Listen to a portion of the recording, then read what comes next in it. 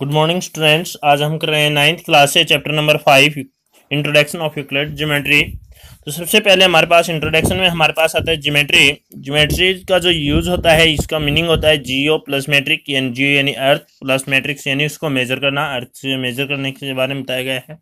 इस चैप्टर में हमें पढ़ना है एग्ज़ाम्स और पोसुलेट के बारे में। बोथ एग्ज़ाम्स एंड पोसुलेट ये जो दोनों एग्ज़ाम्स और पोसुलेट होते हैं are assumption which are obviously universal truth दोनों ही यूनिवर्सल ट्रूथ हैं दे आर नॉट प्रूव ये प्रूव नहीं किए जाते। ये but they are use to prove other statement ये अदर स्टेटमेंट्स जो होते हैं, उनको प्रूव करने के लिए इनका हम यूज़ करते हैं।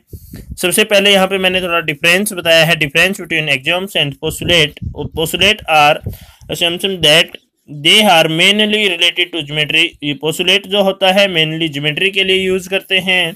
और एग्ज़ाम्स जो होते हैं, वो आप नोट में mainly note related to geometry geometry से रिलेटेड कम यूज़ करते हैं हम। मेनली यहाँ पे यूज़ किया गया है मतलब आमतौर पे हम इसको ज़्यादातर यूज़ करते हैं। इनका जो एग्ज़ाम्स होते हैं और पोसलेट होते हैं, यहाँ पे मैंने कुछ बताया भी गया है इनके, दोनों के अलग अलग things they are equal to same are things same another जैसे मान लो आपके पास एग्ज़ाम्स के बारे में यहाँ पे बता रहे हैं यदि आपके पास x की वैल्यू फाइव है, y की वैल्यू फाइव है, दोनों पे यहाँ पे हमें पता चला है कि जो नंबर दिए गए हैं फाइव दोनों इक्वल हैं तो x और y यहाँ पे इक्वल होंगे। पोस्टुलेट में हमारे पास ज्योमेट्री से रिलेटेड जैसे स्ट्रेट लाइन यहाँ पे गिवन कर दिया आपने, एक स्ट्रेट लाइन में be draw from the any one point to other point इस टाइप से जैसे मान लो आपके पास ए बी और पी क्या वो पैरेलल है, एक और लाइन आ जाए आपके पास। जैसे सपोज़ करो आपके पास जैसे एक ए बी लाइन है ए बी लाइन। दूसरी आपके पास पैरेलल है। पी क्यू और एक और लाइन आपको दे दी जाए। X, Y. और बोल दिया जाए, ए बी इक्वल है पी क्यू के। और पी क्यू जो इक्वल है, पी क्यू इक्वल है एक्स, वाई के। तो यहाँ से पूछा जाए, क्या ए बी और एक्स, वाई इक्वल होंगे? बिल्कुल होंगे। तो इस टाइप की जो किसन कंडीशन इसमें मिलती हैं पी क्या और पी क्या इक्वल रहेगी? एक्स वाई के तो ए बी और एक्स वाई भी आपके इक्वल रहेंगे। यहाँ पे कुछ क्वेश्चन और किए हैं, जैसे फाइव पॉइंट वन से रिलेटेड आपसे यहाँ पे जो क्वेश्चन पूछे गए हैं। Which of the following statement जो स्टेटमेंट दी गई हैं आर ट्रू और which of the following are false कौन कौन सी स्टेटमेंट ट्रू हैं और कौन सी फॉल्स हैं, यहाँ पे बताया गया है। Only one line can pass through a single point इसने बोला गया है कि एक पॉइंट से सिर्फ़ एक ही लाइन पास होती है। जैसे सपोज़ करो आपके पास ये एक पॉइंट है, इससे लाइन पास करने के लिए बोले तो इसमें से बहुत सारी लाइनें पास हो सकती हैं। तो ये कंडीशन आपकी फॉल्स होगी। तो यहाँ पे लिखा है infinite many lines can be pass through the point in different direction अलग अलग डायरेक्शन में बहुत सारी लाइनें हैं, वो पास हो सकती हैं। नेक्स्ट आपके पास सेकंड में पूछा गया है there are infinite number of line can pass through two distinct point यदि आपके पास दो पॉइंट फिक्स कर दिए जाएँ और इससे पूछे जाए इनफाइनाइट लाइन पास हो सकती हैं, इसमें से आपके पास सिर्फ़ एक ही लाइन पास हो सकती है तो ये कंडीशन भी यहाँ पे आपकी फॉल्स रहेगी। थ्रो टू डिस्टिंक्ट पॉइंट दो अलग अलग जो पॉइंट होते हैं point on only one line pass उनमें से सिर्फ़ एक ही लाइन पास हो सकती है।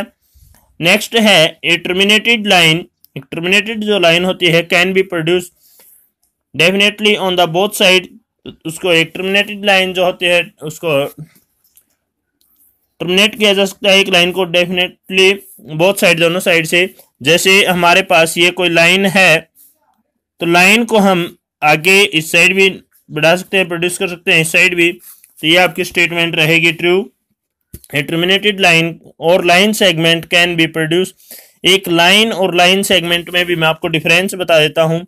एक लाइन जो होती है, इस साइड से होती है और एक लाइन सेगमेंट आपका फिक्स पॉइंट लाइन में इनिशियल पॉइंट और और एक्सटर्नल जो पॉइंट है, आपके दोनों पॉइंट स्टार्टिंग और एंड पॉइंट दोनों में आपके पास एरो का साइन होता है। दोनों को आप अब ज़रूरत के अकॉर्डिंग बढ़ा सकते हैं। लाइन सेगमेंट में आपके इनिशियल और फाइनल पॉइंट दोनों फिक्स होते हैं और लाइंस में आपके इनिशियल और फाइनल पॉइंट फिक्स नहीं होते हैं, सिर्फ़ लाइन सेगमेंट में होते हैं।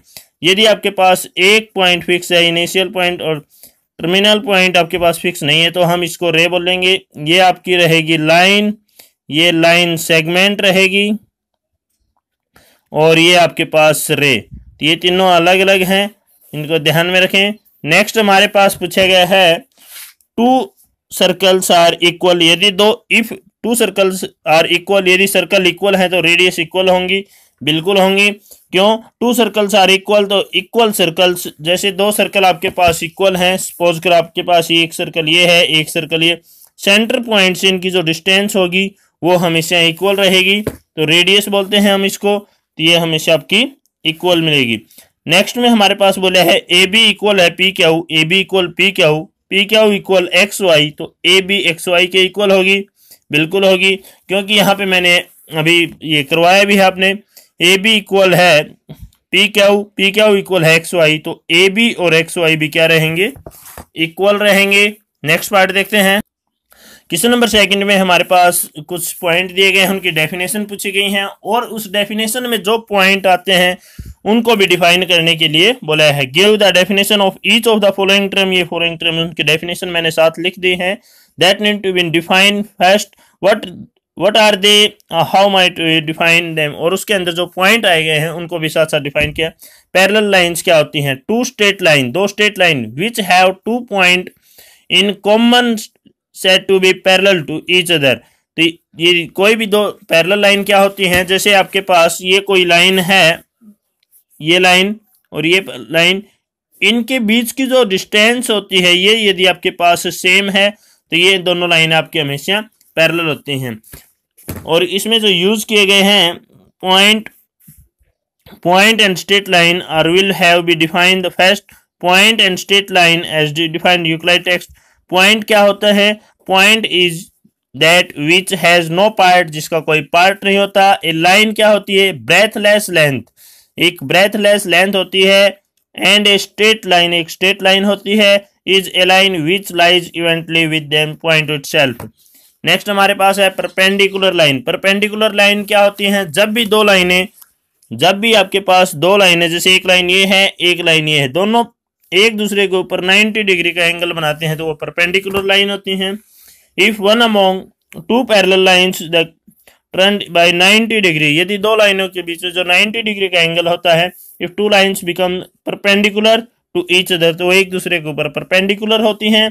Parallel line has been defined before पहले पैरेलल लाइन हमें बता दी है। Rotation through the 90 degree further define relation may be assume that an influence therefore can not be use फिर बात आती है line segment a line with two end point line segment के अंदर दोनों एंड पॉइंट होते हैं, इस लाइन सेगमेंट वो लाइन सेगमेंट होती है। लाइन और पॉइंट आपकी डेफिनेशन यहाँ पे आ चुकी है। रेडियस क्या होती है? A line segment with one end point at the centre and other at point on the circle radius क्या होती है? जब भी एक सर्कल के ऊपर एक एंड पॉइंट सेंटर पे और एक सर्कल पे होता है ये जो डिस्टेंस होती है, इसको हम बोलते हैं radius of a circle next देखते हैं। यहाँ पे सेंटर के बारे में बताया गया है। सेंटर में भी define as the point inside the circle ये सर्कल के अंदर होता है which is at same distance from all the point on the circle और पॉइंट के किसी भी पॉइंट जो होता है आपके पास सर्कल में, इसके किसी भी पॉइंट से आपकी डिस्टेंस चेक कर सकते हैं। सेंटर की आपकी डिस्टेंस हमेशा सेम रहती है। स्केयर क्या है? एक क्वाड्रिलेटरल होता है which is all sides equal एक क्वाड्रिलेटरल स्पेशल टाइप का क्वाड्रिलेटरल होता है, जिसमें ऑल साइड्स इक्वल होती हैं one all angle right angle होते हैं। नेक्स्ट इसमें बताया गया है फिगर यहाँ पे आप बना सकते हैं। जैसे ये कोई स्केयर यहाँ पे मैंने बना दिया, जिसमें साइड भी इक्वल है 90 डिग्री एंगल है। साइड एंगल में भी नेक्स्ट हमारे पास है कंसिडर करना है, ये पोसुलेट यहाँ पे गिवन है। Do these postulate contain any undefined term इसमें क्या, ये जो पोसुलेट दिए गए इनमें अनडिफाइंड टर्म है? तो लिखेंगे yes given the distinct point को पॉइंट की यहाँ पे डिफाइन नहीं किया गया है। और third at least three point point है लाइन है, इनको आप यहाँ पे डिफाइन नहीं किया गया है। नेक्स्ट पूछा गया है आर दे पोस्टलेट कंसिस्ट इनका मतलब कोई लॉजिक है या नहीं?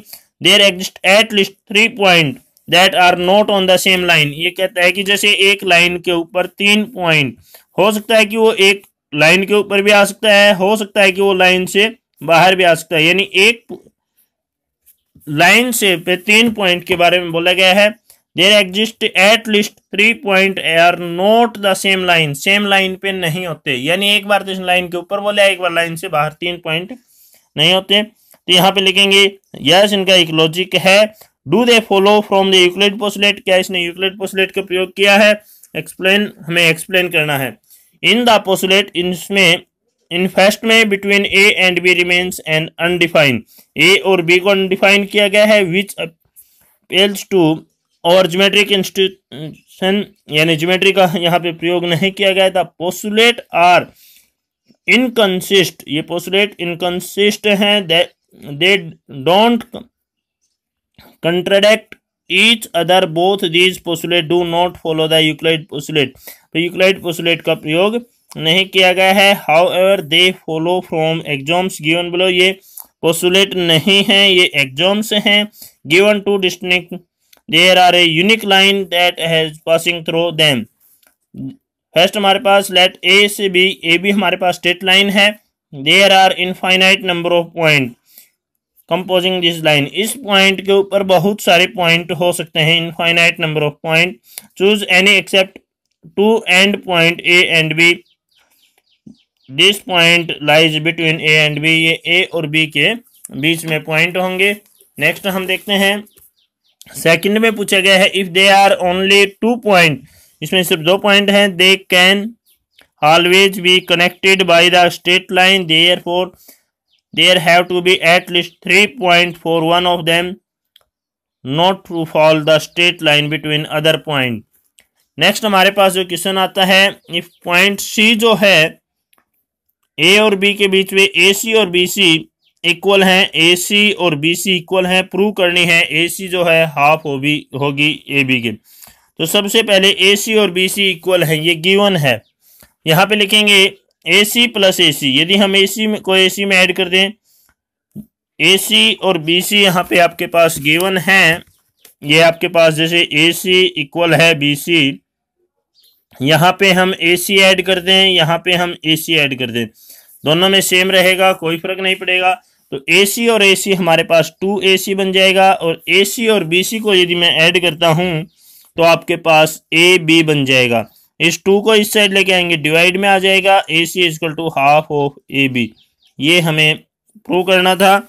यहाँ पे सेम लिखा गया है two A C is equal to A B A C is half of A B question number four में जो दिया गया है C point is the mid point C mid point है, यानी बीच में है। लाइन प्रूव दैट अब हमें प्रूव करना है कि ये mid point prove that every line segment one only one mid point इसमें एक मिड पॉइंट होता है। तो यहाँ पे मैंने लिखा ए सी जो है हाफ़ है ए बी का तो ए डी जो पॉइंट है तो जैसे ही मान लो आपके पास ये कोई लाइन है, इसमें आपको ये ए बी ये सी मिड पॉइंट यहाँ पे एक और पॉइंट हम मान लेते हैं डी ये यदि हम बोले ए डी जो है हाफ़ ऑफ़ ए बी तो ये डी और जो सी पॉइंट है, वो सेम होंगे। ए सी और ए डी आपके सेम होने चाहिए। तो डी जो पॉइंट है, वो ये नहीं हो सकता। सी और डी सेम पॉइंट मिलेंगे। But this is possible only D coincides with C therefore C is a unique point C और डी का सिर्फ़ एक ही पॉइंट मिलेगा आपको। इस प्रकार से आप इसको बता सकते हैं मिड पॉइंट के बारे में। नेक्स्ट हम देखते हैं एक और।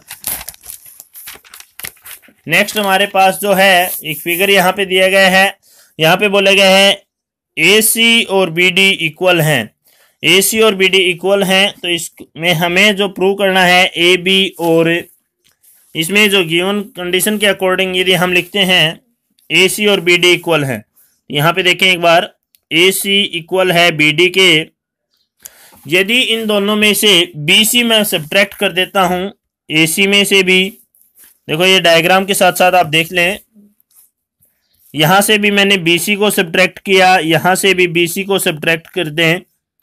तो ए सी में से यदि मैं बी सी माइनस करता हूँ ए सी में से बी सी में माइनस करता हूँ तो आपके पास बचेगी ए बी यहाँ से बी डी में से यदि बी सी को मैं माइनस करता हूँ तो यहाँ से बचेगी आपके पास सी डी यहाँ पे दोनों साइड सेम लाइन मैंने माइनस की है तो आपके पास ये रिज़ल्ट आया है।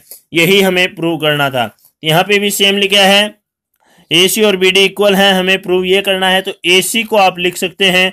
A B plus B C A B plus B C B D को हम लिख सकते हैं B C plus C D और दोनों में ए सी और बी डी इक्वल है या माइनस कर सकते हैं तो इक्वल है तो आपके पास बी सी और सी डी आ जाएगा। Next question number wise the axioms five in the list of Euclid axioms consider the universal truth universal truth जो होती है यूनिवर्सल ट्रूथ आपके पास ये दो टाइप की होती हैं। जैसे जैसे सपोज़ करो आपके पास मैंने बोल दिया वन बाई टू को डेसिमल में कन्वर्ट करें तो आप लिखेंगे ज़ीरो पॉइंट फाइव ये आपकी यूनिवर्सल ट्रूथ है। नेक्स्ट आपसे यहाँ पे पूछा जाए कि एक्स प्लस में टू इक्वल फाइव तो यहाँ पे एक्स की वैल्यू जो बनती है आपकी फाइव माइनस टू यानी थ्री यहाँ पे ये जो वैल्यू है, ये यूनिवर्सल ट्रूथ नहीं है, क्योंकि दूसरे एक्सप्रेशन जैसे X minus two equal five कर दिया, यहाँ पे एक्स की वैल्यू आपके पास सेवन बन जाएगी। यहाँ पे अलग वैल्यू है, यहाँ पे अलग वैल्यू है, दोनों एक्स की वैल्यू है। तो इस टाइप की जो वैल्यू होती है, वो सिर्फ़ ट्रूथ में होती है यूनिवर्सल ट्रूथ नहीं होती है। यहाँ पे इसी में पूछा गया है एग्ज़ाम्स फाइव में Euclid axioms consider universal truth whole is a always greater than part एक जो कंप्लीट होता है, उसी एक ग्रेटर देन उससे बड़ा होता है कंप्लीट जैसे यहाँ पे एक सर्कल मैंने बना दिया इसके फोर पार्ट डिवाइड कर दिए। कंप्लीट सर्कल वन फोर्थ जो है वन फोर्थ ये जो पार्ट बनता है, ये इस कंप्लीट का सर्कल का पार्ट है। तो this is a universal truth ये एक यूनिवर्सल ट्रूथ है। Inclination the whole is therefore can be never the greater than whole number जो पार्ट होता है, वो उस कंप्लीट से कभी भी ग्रेटर नहीं हो सकता है। इसी के साथ आपकी ये एक्सरसाइज कंप्लीट हुई और आप इस पोस्टलेट एग्ज़ाम्स को बुक्स में एक बार डेफिनेशन उसमें भी गिवन है तो आप उसमें से कर सकते हैं। तो नेक्स्ट वीडियो में हमारे नेक्स्ट क्वेश्चन नेक्स्ट एक्सरसाइज के साथ। यदि आपने अब तक चैनल को सब्सक्राइब नहीं किया तो प्लीज़ सब्सक्राइब करें।